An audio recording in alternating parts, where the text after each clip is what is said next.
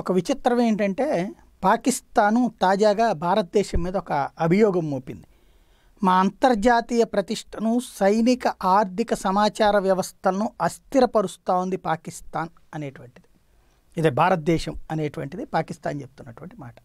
మనం వాళ్ళని అంతర్జాతీయంగా ప్రతిష్ట దిగజారుస్తున్నాం. అంటే ఐక్యరాజ్య సమితిలో దాన్ని నిలదీస్తున్నటువంటిది అట్లాగే వివిధ ప్లాట్ఫారాల మీద పాకిస్తాన్ గురించి పదే పదే ప్రస్తావిస్తున్నామట.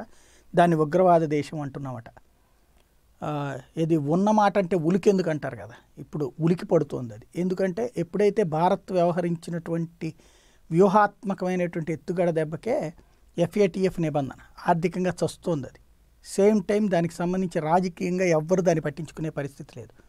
చివరికి వెళ్ళి అందుకనే టర్కీ వైపు చైనా వైపు గతిలేక తిరగాల్సిన పరిస్థితి వస్తుంది. అందుకనినే ఈ స్టేట్మెంట్ అనమాట అంతర్జాతీయ ప్రతిష్టని దిగజారుస్తున్నమాట సైనిక ఆర్థిక సమాచార వ్యవస్థను అస్థిరపరుస్తున్నమాట వాళ్ళు మన దేశంలో చొరబడుతున్నారు? మనం వాళ్ళ దేశంలో చొరబడుతున్నామా? వాళ్ళు మన దగ్గరికి బాంబులు పట్టుకొస్తుంటే కలిసాం మనం వెళ్ళి వాళ్ళ దగ్గరికి వెళ్ళి లాక్కున్నామా?